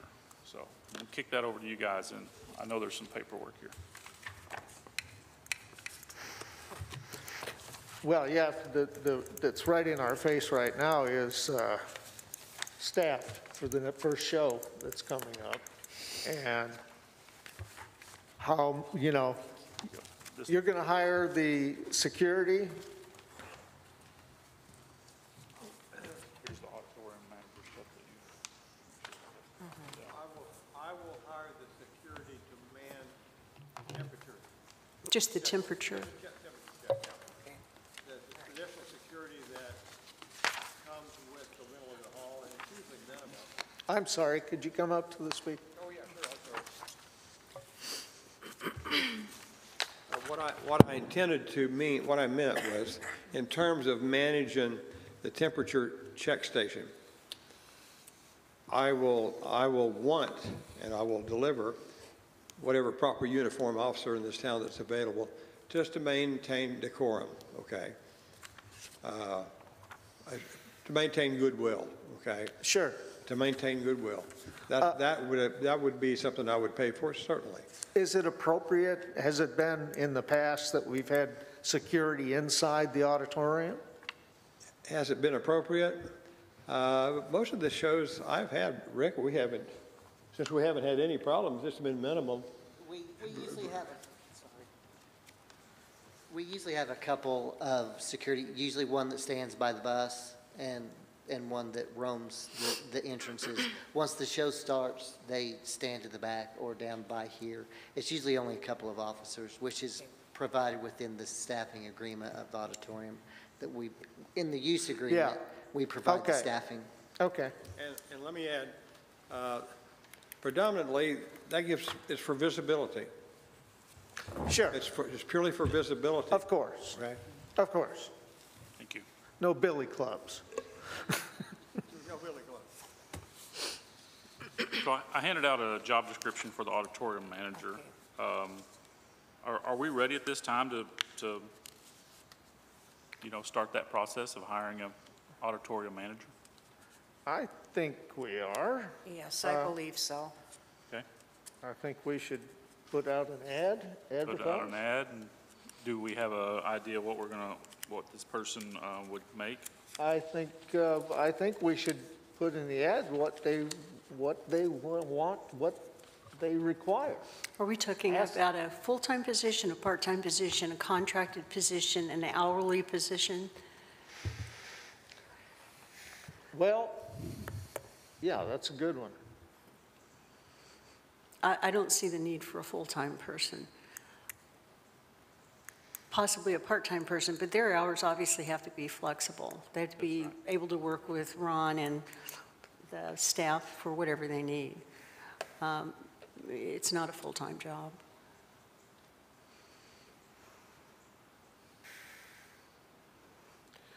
Why don't we look? I don't know, if you read this, the job description, there's a lot in it. Yeah, there is. There's, there's a lot there. Let's, why don't we um, just postpone this until the, the next meeting and all of us really go over it and Well, you know, we really, we need we to? need to, do- I mean, we've got a concert Well, coming up we- on the It 18th. takes We have days. somebody in the audience that's got 20 years' experience Yeah. working here at the auditorium, so maybe we should bring her on staff right now. Yeah, for, de- she did the concessions, correct? Well, she's been involved with the auditorium, probably knows it better than anybody here or in the city.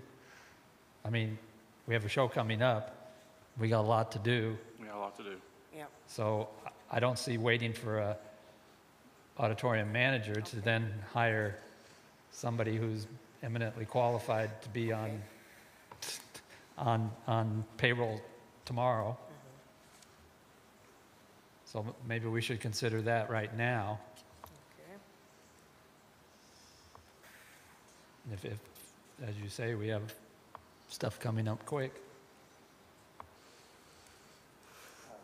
Is Soraya already on the payroll? Rick, could you define that, please? She, she is uh, currently an employee on laid-off status.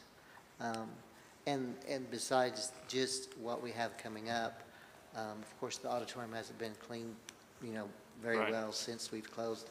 We've got cans of pop that are leaking in, in the concession stand. Everything's outdated. The beer needs to be poured out. We can't give it away, so it all has to go down the drain. Well, I'll make, There's a- I'll make a motion to. uh, stuff to be done that she termi- normally would do. To bring her back on staff.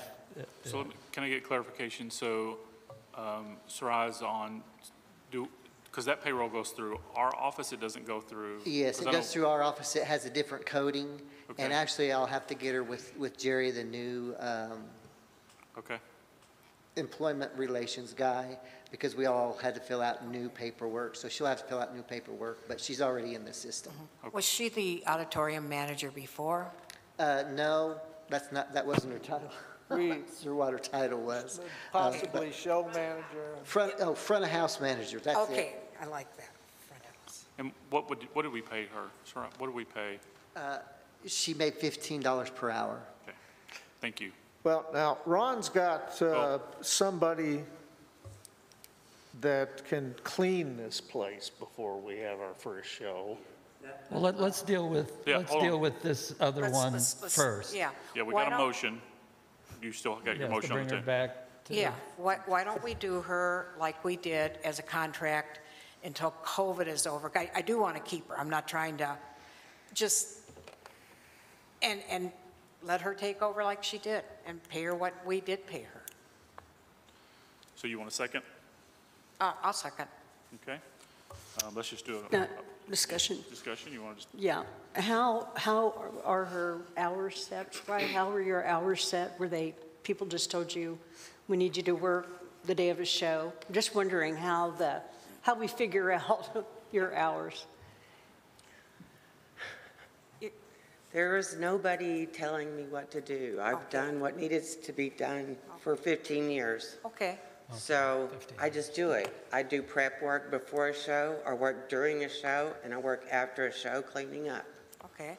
Well, What staff are y'all talking about that is discussing doing all that? Oh. Where's the staff? oh, that, that we were talking about the cleanup?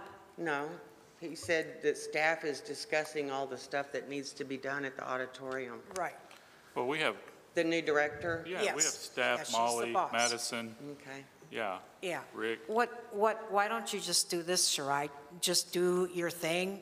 Um, If you've been here 15 years, you're obviously trustworthy, you're not going to cheat us, and just keep your hours. She she clocks in and out. Yeah, then that's fine. I mean, Can we I'd be suggest a glad- start date of next Monday? yeah, I would be glad to have her back. Okay. So Put we that in ha- the motion? Yeah, Yeah. put that in the motion, so we have a motion. What do y'all think about giving me a little raise? Well, that, that's, yes, without a doubt. Thank um, you. you want to hire on and let us discuss the raise? Whatever. At a subsequent care. meeting? Whatever y'all need to do. Well, let's, let's work on the raise part, pay at, at this rate, but yes, we definitely Yeah. need to discuss this. I have one other question too. Rick, I recall that there were some positions, I'm not sure if it is this one, that the state was interested in how we uh, called that person because they had set hours or not set hours. and We don't want to get into that problem again, so um, how do we work this? Sarai is an actual city employee, Okay. Part-time city employee, so she doesn't fall under the problem that we had with, that was under the contract labor. Got it, Um, When okay. we, when we would tell them they had to be here from six to eight to do a show, Okay. that under Arkansas law, no longer, they're an employee, not a Okay. contract employee. So we would hire her part-time. So Sarai's basically a part-time city employee. Got it, thank you. Perfect. Okay, so we have a motion and we have a second. Um, All in favor? Aye. Any opposed? Motion carries. Uh, Thank you, and thank you for. Welcome back. Yeah, thank you for your input, and we're happy to get this thing rolling and get Yeah. things done, so. Okay, about the cleaning. All right, we're We ready. need, we need to, we need to talk about getting this place cleaned out uh, before Sarai even gets into Yeah. the, into the theater here. So Ron called several places, and what have we got? One, one outfit that gave us a quote? Well, it's kind of a changing process. Uh, At first, I thought we needed to clean the curtains first to release dust, because that's going to release a lot of dust, and then we'll do the deep cleaning later after that. But after talking to the curtain people and the considering the expense it's to take to clean these curtains, uh, I think we're going to have to uh, treat the stage differently. We got to clean every square inch of the stage, all the rigging. Uh, We got to clean the lofts out, and that's painstaking because of the amount of equipment and everything that's on the stage. We have a set of scaffolding to clean, all of our battens, all the lighting equipment has to be cleaned. Uh, Because the more dust that those curtains collect, the more it degrades the fireproofing that we're going to be paying a lot of money for. So- Right, we've discussed that. So have we got someone that can come do that? Well, I, I mean, I think we're gonna put together a local crew because, like I said, we've gotta cut, set up scaffolding, we gotta, we gotta wipe down all of the battens, all the hardware that's in the building. We've gotta get all the equipment out of here. Um, I think we've gotta treat the stage differently. Then we can talk about, you know, the theater itself and the, the basement. But the most important thing is, um, and, and, and that, we might not be able to get that done before this next show, but, um, So I have a question for Rick. Rick, do we already have money budgeted for cleaning here at the auditorium? Is there already money for that? Yeah, we How- have how- an operations How budget. much out of that operations budget do we already have for cleaning? It's whatever we de- need to Okay. use. I mean, we've I- only used like 12,000 of our auto- Yeah. operations budget, which I'd was like like to 40. make- just make a recommendation that s- now that we have Madison here and we have Sarai back on staff, that we just turn, we don't have to vote to release any money here. The money's already there. Mm-hmm. We just need to tell them to, to, to work to get it and keep updating us. Um, If you guys are okay with that. Yeah, yeah. Okay. that's- That's what So we we'll- hired Madison for. That's right. Mm. That's the benefit of having a tourism director. She's in charge. She's in charge. Okay, anything else on the auditorium? Is anybody, anything else there? I feel like we, mm-hmm. okay. We had some marketing um, request supports, and there's actually two of these that are, I'm not sure, springtime in the Ozarks, but it's next year. I'd like to recommend, it's not until April of 2022. I'd like to recommend that we push that down the road a little bit. Agreed. And we let Madison kind of, when she gets more, and then we also had one for the, the cat house, um, and it needs to be revised, okay? I'm just gonna say that. So I've asked Madison to contact them, to sit down with them, to send them over the marketing guideline supports, rules, because, uh, they've asked for, I won't even say. Y'all can look at that. So we honestly have one marketing support All right. that I think we should look at and consider tonight, and that, of course, is the museum. Um, and the museum is doing, um, is this Voices? Yes. Okay. Y'all are more familiar with this than I am, so. And it's October the 23rd, 2021. It looks like they're asking for $5,000. And it is an outdoor event. Right. Mm-hmm. And it. We don't it- have anybody here from the museum, correct? No one's here? But it, I, I know it brings in a ton of people. A lot of people Yeah. from way, I mean, people drive in Right. every year for it. Rick, do we have money left for this? Yes, Okay. I'm going to make a motion that we approve $5,000 for the museum's tour. Second, We have a second? Uh, I'll second. Okay, Yep. we have two seconds. Uh, Any, we want any more discussion on this? what was last year's ask? What did they get last year? probably the same. Was it just two? How much? 2,000? 2,000? Yeah. Okay, and they're But what do we asking have for left? 5,000 this year. What do we have left in our um, marketing support, We have 23,000 left. not counting Not this? counting that. Okay, so we have 23,000, this would be a 5,000 out of that, so. Any- any- I'm just curious about $3,000 more than, than the ask for last year. I mean, that's more than double. I- I've read in the paper they're having some issues with transporting people. In the past, they've used the old Victorian lot, which is a mess now. And um, people normally would stand in that lot, board buses, go to the thing, spend an hour, come back. Um, Is that part of the reason they're asking Yes, for and, more? uh, and also just getting the word back out that it's going to happen again. Yeah. Because it didn't happen last year, you kind of fall off the radar. Mm-hmm. Um, So you got to do more advertising to let Mm. people know it's going to happen. And this is a fundraiser for the museum, right? Yes, ma'am. I think that's really important to remember, too. What is Well, we're- it, three weekends? Yes. Yeah, This is not a one-night event, this is three weekend event. right. Yeah. And, And, and, and they haul busload after busload and into the. the people into come the and they cemetery. stay, and they shop and eat. Well, and it also features a lot of our local talent, actors and others um, who are really quite good. Yeah, it does. Okay. I mean, we're already funding the audit, uh, we're already funding the museum. Not, not yet, but Tim hasn't gotten me the contract back yet. Well, technicality. But we, we, We we will. might be. It's approved, and we'll Yeah. we'll do that, so. Okay, so we had a motion you- for 5,000 for the total, James? That wasn't my motion. Oh, who- It- It's mine and Oh, that's- Green Bob. and Bobby seconded it. Yeah. Okay, and was it for five? Yes. Okay, I just want to make sure. Okay, so a motion and a second, no more discussion. All in favor? Aye. Aye. Aye. Any opposed? Okay, that passes for them. And these other two, Madison, I'm going to have you work with them to revise these and get us back on the mm-hmm. schedule. Springtime in the Ozarks probably needs to come up at our next event, though, because they do a lot of advertising over the Yeah, holiday. and- And they're huge. They, they are huge, yeah, and Yeah, and a it's very not a- popular event in town. Yeah. Not, that's not saying we don't want to do it, it's just saying I think that Yeah. we Yeah. need, Yeah. it's a little too soon, and I think I want you to work with them directly, so you're Sure. on, on board with that. Okay, so um, Greg, uh, as you guys know, resigned, so we have a seat that's vacated. Um, I don't know of any new applicants that I'm aware of. Rick, we have any new applicants for that? So we have, No, we do not. We, we have just the four that, have- that applied this year. So I would make a motion to uh, appoint Patrick Burnett to the vacancy. Patrick is here, would you accept that nomination? Thank you, sir, for coming and being patient.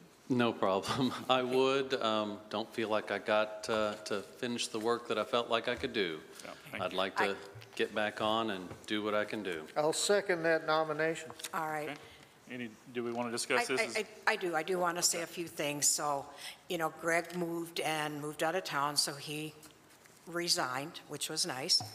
Um, Patrick, I, I talked to one of the applicants today, Blair, and she, at this time, did not want to be considered, but wanted it left. Um, Rodney was too busy to call me back, but I will talk with him.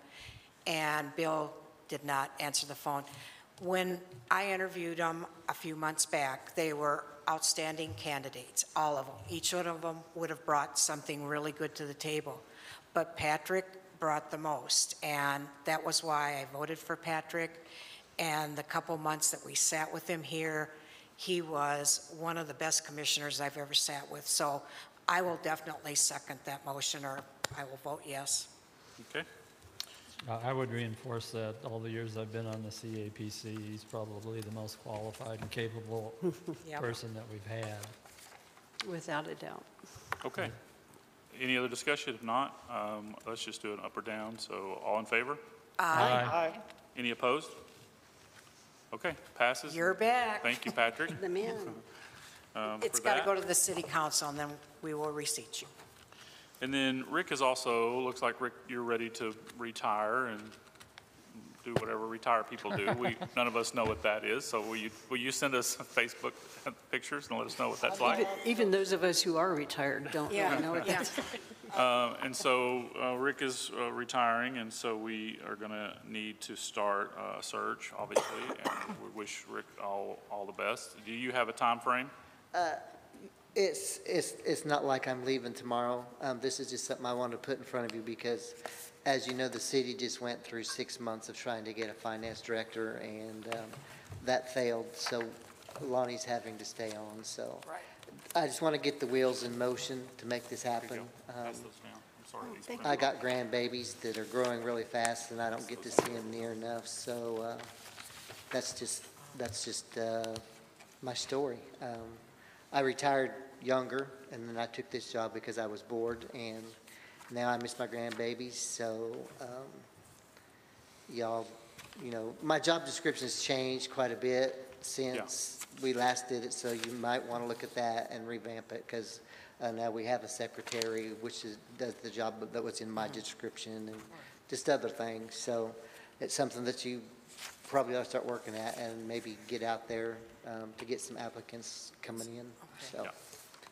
Yeah. Um, Do we have the option of um, having an outside Yes. company do this? Yeah, we do. Yes. Yeah. So we could, there's a couple things we could do. We could hire an outside independent company to come in and give us quotes. Um, We could hire an intern, and that brings me, I passed this around. This is Scott Barden. Y'all know him. He lives here in town. Um, He owns property right Right, here on and on he's- Main. he He's is- on Parks. Wasn't he, he was a bookkeeper for the state of Louisiana? Well, he, some of his resume is here. I, I, he came in, met with me and said, hey, Jeff, I would work part-time. He believes that he could do just the bookkeeping part as a part-time at twenty-five dollars an hour. And he would not be, a- uh, he would not be our permanent hire unless we decide to move that way. He would be an intern. So he would come in and he, or an interim, and he would come in and he would get us between Rick and the next Okay. Step. So, so could we hire him temporary to start working with Rick? So Yes. that we can, we can start moving in the direction we need to move? That's right. We, we can hire temporary.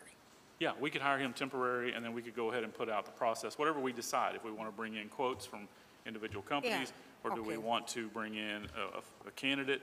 You know, all that's going to, like Rick said, that's going to take time. Yeah. But we could do this temporary uh, position that's part-time, that would come in and transition us properly between now and the time that it takes. I, I, I, I do know him. I mean, we're not friends or anything. I, I respect him. I think he's a very honest person, so I think we need to start moving. So I'm going to make a motion that we hire Scott Barden temporarily to, as an intern. To familiar himself with the books while Rick's still here, right? Yeah, yes, yes, just as an intern. And you're okay, he requested 25 an hour with that? Yeah, that would, that would, that seems very reasonable for It an does. innkeeper. Um, he's not interested, he's, he's retired, so he's not interested, he doesn't need city benefits or any of that, so I've asked him to keep his hours under thirty a week, if this were, so it would be under thirty hours a week at twenty-five dollars an hour, and he would transition us into Rick's retirement.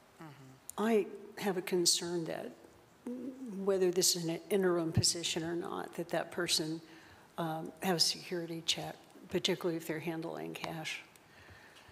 How much cash do we handle, Rick? We rarely ever have cash other than when we do an auditorium show. Um, Everything we do is by check, but it is required um, to have my position or work in, in my position to have a background check done. Okay. Um, And do you need to be bonded as well? We are bonded, but we're bonded through the city. The city's bond covers us. We don't have to buy our own bond, but we are bonded through the city, and you do have to pass a background check. We can just get the city to do a background check like Yeah. we've done It- with her. I mean, we're not getting a second on this one. I think we're a little uh, over our skis. He hasn't, Scott was not available tonight, so. Yeah. Yeah. Rick hasn't even given us an end date. We have the question, do we want to go with an accounting firm, or do we want to hire What, a what I. financial, What I propose is this is just temporary to, to get us started, because if Rick decided to leave tomorrow, what are we going to do? I, I could make the case that we hire an accounting firm tomorrow and have them do it. Okay, well, we could. Hmm. So, moving forward, do we want to um, put this in our next workshop? Sure. And, and, and and maybe we could invite Scott, and maybe we could invite a couple of uh, firms to come in, and we just do a workshop that Yeah. way? You guys That- want to do that? That's That perfect. sounds And like a good idea. Get us, Yep. because obviously, you know, we, if we- we, the sooner we start, the sooner we end, and so, um, okay, we'll do that. I'll put that for our next workshop. Um, Okay, that's all I have. Commissioner comments? Start with you, Bobby. Do you have anything? No, I don't, thank you. Okay, Harry? I'm just really tickled with the numbers. Uh, Paradise is working out for us real well. I think they're earning their money. And uh, I think Madison is earning her money too. James? No comment. I don't, I don't have any comments. Carol, do you have any comments? Um, Nice job, Jeff, getting the ball finally rolling forward again. Um, Welcome to Madison. Really glad you're here, and yeah, the numbers are really great. And Paradise isn't all of it, but they are a- certainly a big part of it. When you see a $16 return on a dollar investment, I want to invest in that. Okay. Um, I just want to welcome Madison. She's been a wonderful addition, and I'm delighted at the numbers for the city also. I mean, those were sales tax. And- And that's 60% of our income in the city is our sales tax, so I'm pretty excited about that. And I'm excited to move forward with the auditorium and the, and the Public Works building. And with Larry. I'm done. Okay, you got a motion to go home? Yeah, motion to go home. Second? All in favor? Aye. Hey. Opposed to go home? Nope. Thank you guys very much and appreciate your patience.